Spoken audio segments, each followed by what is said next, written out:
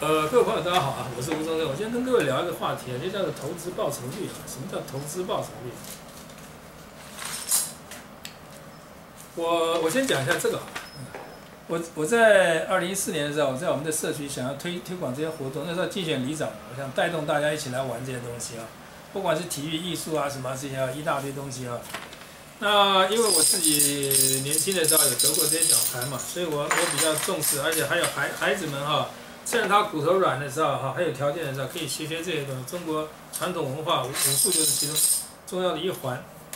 那有的人就问我说：“哎，这个东西都很都很花钱的。”我说：“那这个花钱的事情哈，这是投资，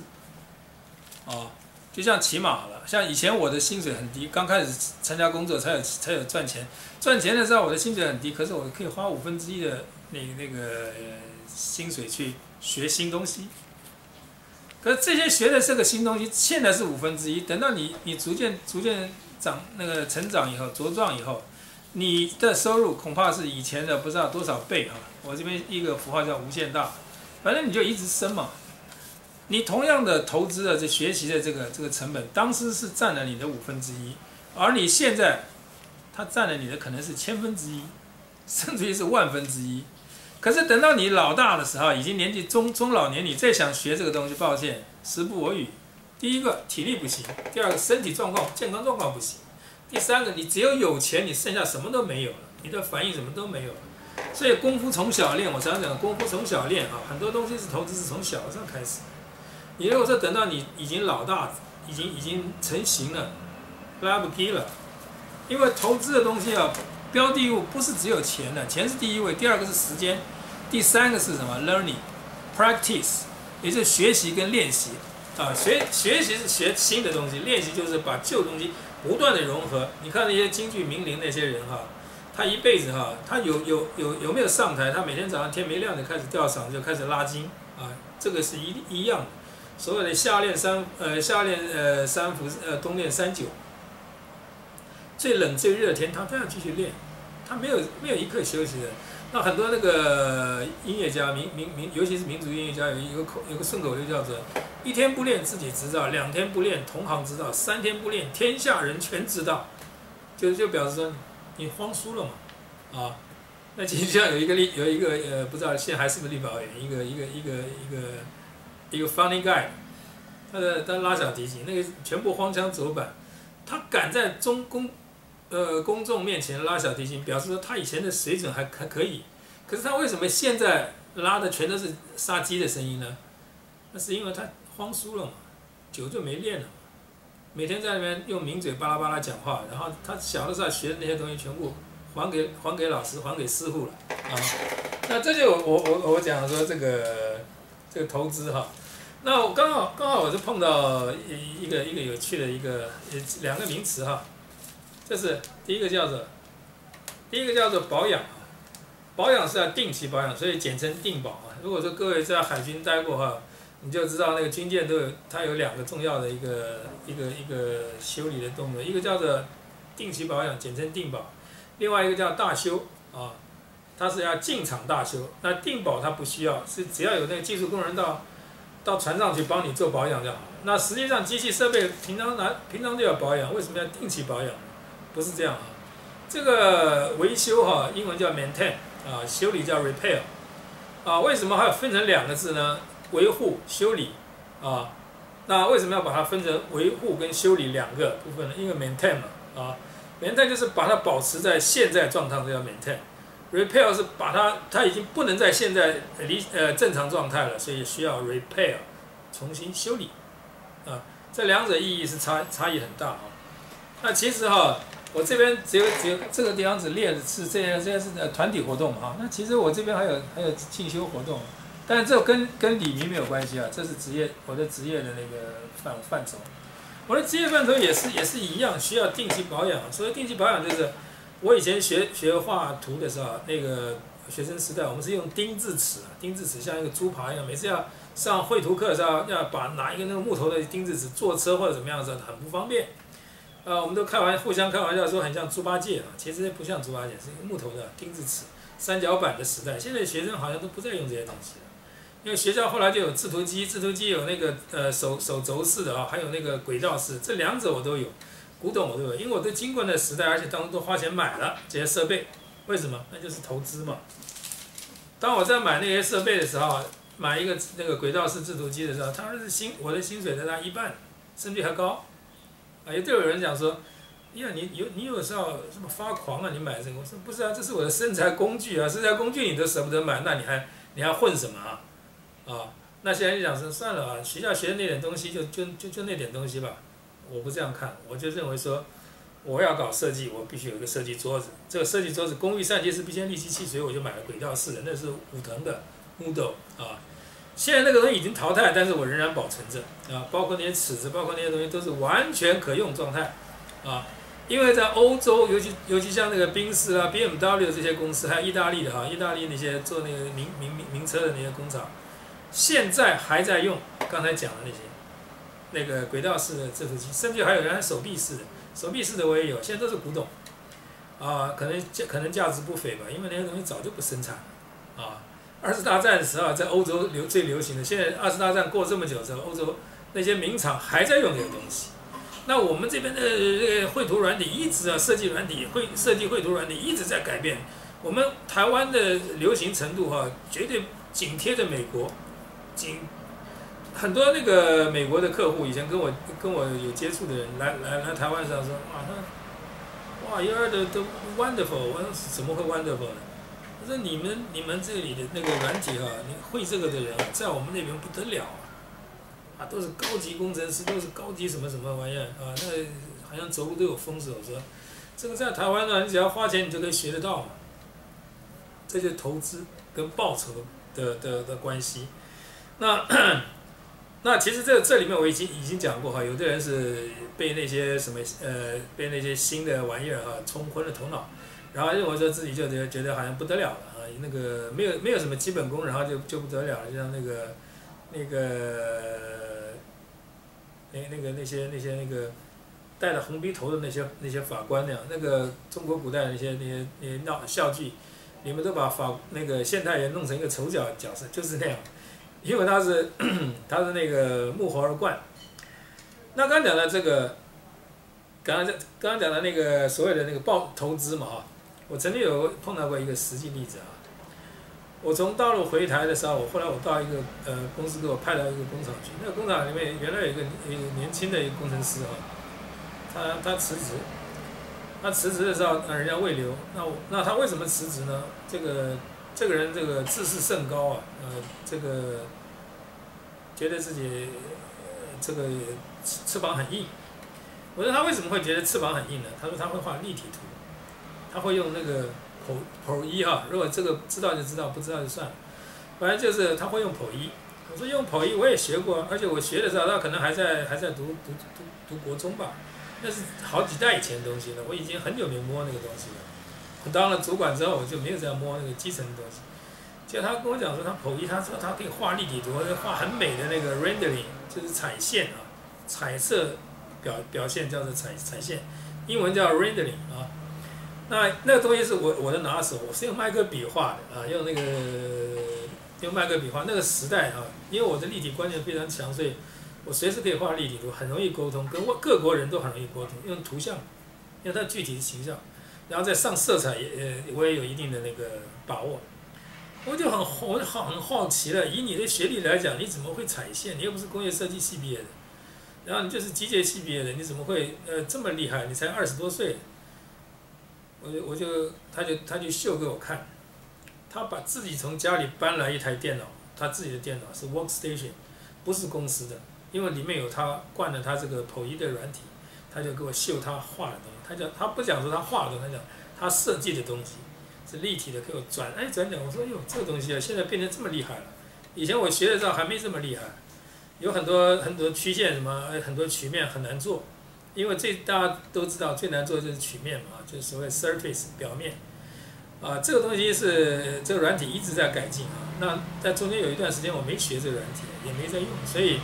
呃我我就不清楚。我说那这样好了，你能不能教？我说不行。我说为什么？他说他花了十几万新台币啊学的这些东西。他花了那个，他他交保证金，不知道十八万还是什么。我说你想，你一个月才两三万块钱，你怎么能够投资这么大的这个资金来来学习？他说我们这有签约啊，你只要你签约，你要把这个现有的软体啊，你通通学会，每一样都勾勾了之后就是要付，一次就要给他付十八万，怎么付法？他去贷款。啊，那个那个电脑补习班有有一种特殊的优惠贷款，就是就有办法让你去，他给你让你贷到十八万，然后那个电脑公司就拿到十八万之后，你就可以在不限不限年年不限时间，就是你可以在两年或者三年之内或者五年之内，你都可以去学，任何时间只要电脑空着，你就可以上去上去用。OK，他他就这样，他当然是年轻人很好学嘛哈，拼的拼的命就学学起来之后。可是这个美学概念哈，还有这些什么这些很多机械的这些知知识啊、常识啊，不是一触可及的，需要累积。包括那个电脑公司在教画电脑、画用电脑绘图的人，他只懂得如何使用指令，他并不了解机械背景里面有什么，建筑背景里面有什么，他只是教你使用这个工具。我讲过了，一把扳手就可以锁一个螺丝。可是一个小孩子他力量不够的时候，你拿那个扳手他也用不了，他也锁不紧那个螺丝。可是一个大人。他用那个工具，适当的工具，一下子就就打开了。而且你要同样要把一个螺丝帽松开，有太多工具了，有活动扳手、开口扳手，呃，开口扳手就是固定扳手啊，然后也有梅花扳手，还有套筒扳手。那这些你看，这些这么多工具可以对付一个东同一个东西，所以那个软体是百百百种了啊。那个不是说你学了软体，你要学的是基本功，如何设计，呃，如何美学啊，有你要。要要要修身积厚，要很长的时间。我当时都已经快五十岁了，我可能有五十岁了。我就想说，这孩子哈，这样子啊，这么样子的那个理直气壮。我就拿了一些我以前的作品给他看，他看了也说哦，他说你这个东西好像很老很很很老很老旧。我说是啊，那时候我用手画的，啊，我用麦克笔。他说现在不用这个了，现在你看我们你讲你要什么质感，我马上打出来。我我心里就突然跳出一个一个一个一个一个一个嘲笑的表情。我说：“你今天停电了，你能够跟人家讲什么？你没有电脑，你就是一个白痴啊！你能跟人家什么？啊？那还有其他的各方面能力的。”他马上听过我这么一一番话之后，他马上就跟我讲说：“要拜我为师。”我说：“我我刚刚要你教我电脑，你说你花十几万，你不愿意教我。”他说：“没关系，我们俩可以交换嘛。”我说：“交换什么？”他说：“哎，你我画东西，你给我给我给我给我 check check 哈，还有告诉我这些什么哪些地方可以怎么做？因为他视率有限。”我说：“那你干嘛要离职？”他说：“我已经在别家公司谈好了，那那个薪水比这边呃高了快要一倍。”那我说：“那那你现在你现在想怎么样？”我现在我现在又又提出一个报告，跟公司讲说延迟那个离离职。我说：“为什么要做这个动作？我要跟你学。”他真是好学不倦，他说要跟我学，我说，你既然已经提出来了，所以人家才会把我调到这边来啊。那现在你你如果不走的话，我在这边还有什么意义呢？没有意义了嘛。然后后来那个公司当然因为因为跟他已经切磋了好几个月哈，他这坚持要走，他认为他花那么多钱投资了，他能力那么倍增，比人家前面的人厉害了不知道几呃几万倍吧。那现在他一定要走，后来。公司就说：“好吧，你走吧。”后来就跟总公司、跟集团申请，集团就把我调到这边来，调到这边来管这个设计。结果我就跟他讲说：“你既然已经这样子的话，这个程序你不走不通的了。”后来他那个人就跟我讲说：“他说老哥，你一定要，你一定要帮我。我到了别的公司之后，那他每天都有 email 给我，他现在设计什么东西要我帮他修改，啊，要帮我看看怎么怎么做，怎么怎么弄。”我心里想说，我在这边上班，我拿的是这里的工资，我我我管你那边什么？而且你也没有，你也没有给我任何好处嘛，对不对？你至少说，你说啊，你说你这软体，你给我弄一份软体过来，然后我来我来我来我来我来学习。后来我发现了，这不行。那个那种学习，因为它已经已经隔代了，隔了好几代，好好几个版本。就是我平常没有做定定期保养啊，也就是这个软体在在在升级的时候，我没有记，比如说。比如说二呃二零零零版好了，二零零一、二零零二，现在已经二零一八了，已经有十八版出现了。那如果有十八版出现的时候，我学的是二零零零的，已经现在已经进化到十八版了。十八版的连主画面什么都变了，可是它基本功一再的在增加，能能耐一直在增加，指令一直在增多，连 icon 都变了。那今天如果说你今天跳到十八，呃，二零一八版好了，今年啊，今年二零一八马上二零一九，明年版又要改了，它又进化了，因为这个商业的竞争就是这样的。Me too，你有的我一定有，叫做 Me too。还有一个我有的你没有，这才是优势。那比每一个软体在比这个嘛，都在比这个，每天在，否则那那么多软体干我刚刚讲过，呃，梅花扳手也可以用，开口扳手也可以用，套筒扳手也可以用，那个呃固定扳手也可以用，都是解决问题的嘛。但是问题的核心就是当年这个螺丝跟螺帽的关系嘛，对，你是要解决这个松开呃上紧的问题嘛。只是这个这个功能而已，只是你用了不同软体，同样，所以说所有有 Me Too 啊，那这个问题就很大。为什么？因为他们怕有抄袭，被告抄袭，因为那些工程师的是也是被挖角嘛，这个公司把他挖到那边，那个公司把他挖，还有跳槽嘛哈，还有自己组公司、自己创业，还很多种情形，所以它的指令是同一个功能，它用不同的名字，这就让学习的人倍加的这个难过。为什么？因为软体很多嘛，我刚刚讲说我的电脑现在是半残状态，我一直没把它没把它干掉废掉，就是因为里面有这些重要软体都在里面，这些绘图软体很每个都很很价钱很高啊，而但是那个都是旧的版本，也就是五五五年前吧，呃五六年前的版本，那现在又进化成什么样我不知道，也不太重要，因为你知这个就是我刚刚讲说哈。每隔一段时间要去定期保养一下，也就是说你必须 maintain 你的知识跟技能，啊，那个东西你的基本功还在，但是呢，最重要就是最后有一个哈，就是你要进场大修。所谓大修是什么？就是你很多很多的那个东西啊，已经变化很多了。比如说以前没有 3D 列印机哈，呃，3D 的那个 printer，那 print 这 3D printer 现在只能用塑胶哈，那还有人用的是纸啊，或者是用纸浆或者什么很多种名堂了。有的是用镭射切割，那都是 CNC 的东西嘛，只是它如何把那图像、3D 图像转化成这个指令哈，所谓 CNC 的指令，这个这个以前还有一个叫做那个 APT 呢，Auto Programmable 呃 Technique，还有一个这个名称。现在如果讲 A APT，人家人家会问你是什么东西啊？这是商朝的东西吗？还是还是还是那个呃宋朝的东西？他没有人知道，就像我现在讲说，呃，电脑基本的那个语言，就有一个叫 Basic，我们以前学的，现在没有人知道了，才短短的几年之间呢，变化这么多，那就是我们要跟上时代，我们就必须要定期保养嘛，还有进场大修嘛。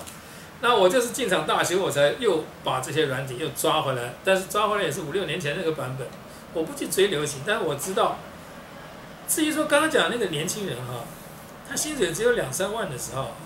他就可以花十几万下去投资这个学习，可是他花了花了，用台语讲叫抽棍啊，就是花了很大的这个这个这个成本下去。这个其实哈，是我刚刚讲的，你你用我是这样子哈，他刚刚讲那个是他花了十几万，那个是因为他用分期付款的方式，就是他一次贷款那个钱拿到那个那个钱下来之后交给那个公司啊，那个电脑补习班，然后他自己就是就是直接就可以下去学学个两三年哈。任何时间的一一一期听完之后，所以那边老师对他们都是，老师都是嘴巴笑的，笑的裂了耳根去的。为什么？因为你是，你是你是那个财神爷嘛，所以你要问他什么哈，他他问无所不答。再来就是学习的人里面有些人是社会人士哈，他有经验啊，互相交朋友之后，互相呃截长补短，互相切磋之后，他会得到很多的知识。可是这些知识如果没有系统的话，没有高人指点的话，他有的时候是乱的。因为他到别家可能。呃，可能人家兴起一阵子之后，因为他们没有这种人才嘛啊，兴起一阵子之后，可能也就你也就升不了，升不了，升迁不了了，然后你可能就又想要跳槽了。可是你再跳槽，你还要再花十几万再去补再去补充吗？恐怕也不见得。再来就是很多人这样的投资的，所以很多人都会这些软体啊，很多单位都在办这个，连政府政府单位都有在办。所以很多人会，但会没有用。我刚刚讲过，你的基本功没有。你你不懂得这个机构原理，然后你只是会画，你会画的话，那就像以前的所谓我们那个时代的描图员，我先把那个那个铅笔画好之后，你去给我上墨，描图员干这个，啊，那真正的设计还都很远，那这个话题提远了，这个我就我就常常在讲，像我比如说我这个哈，我我在二零一四年的时候哈，呃，曾经有有发动过一下我们那个社区的人来学这些东西，飞行啦。啊，骑马啦，风浪板啦，还有什么戏曲啦，这些，啊，还有一大堆这些这些玩意儿。当时就有人问我说：“哎呀，骑马要花钱的，很贵啊！啊，飞行更花钱，要买装备。那潜水的话，呃，而我我我就直接告诉他们讲，我说我跟你讲，你只看到是钱的这个问题，你没想到是时间！你要投资的除了钱以外，钱是最基础的。第二个是要时间，你要花很多时间下去去 learning，还有 practice，学习不不打紧，你要要不断的练，要流流汗、流泪、流血。”可能还要流血，你你你要注意其他的投资啊，你不是只有一个钱，钱是最简最基础的而已，啊，那当时就有人这样质疑嘛，我就想说，如果说你连这个这个投资这种呃破釜沉舟的决心都没有的话，你想都不要想，你永远就停格在你那个地方。刚才讲的时候那个人哈，那个年轻人，他他只有两三万薪水的时候，他可以花十几万。的学费，投资这个学费，他就寄望将来嘛。可是他他的他的父兄，他的那个那个同学们，呃，他当完兵回来才学的。那这些人都是都跟这个没有关系，他每天在闷在家里面就在这边练啊练练功啊，所以人家都在那边在那边唱卡拉 OK 去去干嘛？呃，去去乱逛啊什么？他没有，他埋在家里面，他埋头苦干。可是独学而无友，则孤陋而寡闻。很多东西他就他没有接触，没有接触之后，你能够跟人家谈的那个深度就非常之浅，你只是一个绘图员，就这样。所以，呃，我就讲说哦，这个这个博学审问慎思明辨笃行啊，这个是必须的一个一个阶层哈，这没有什么没有没有办法一一下列等的哈，一下就一步登天一触可及，没有没有那回没有那回事情。他必须是要一一一阶一阶慢慢累积的学问之道就是这样，技能更是这样，啊，几天没练就荒疏了，就这样。那但是呢，最重要的一点哈，我就要强调说，你过去的成绩都不是成绩，你现在的成绩才是成绩。那因此呢，我们这个过去的经验只能提供给人家参考，reference only，也就是我常常在这边讲的这个啊。这些东西都我现在还能死，还能死得死得开哈，那有些东西已经已已经死不开了哈，这样子。你要我在做这些抱虎抱虎平和的这些东西，我我就有困难了，而且这有很大的危险性。刚刚最后再讲到一个哈，那些人只那些人他们他们只想到投资只有这么几点嘛，第一个钱嘛，第二个时间，第三个练习嘛，练习练习还有那个学习跟练习，learning and 这个 practice。这些东西啊之外，如果你还想学一点比较特殊的，比如说这边有飞行、骑马，还有那个呃帆船、风浪板这些东西，还有武术，这些还有危险性的，还还不是每个人都能学的了。你如果反应迟迟缓的话，你还真的是摸花抖了，这一辈子绝缘了啊！所以这个学习需需趁早哈，投资哈，投资报酬这个这个概念哈，一定要有。以上我跟跟各位分享，谢谢。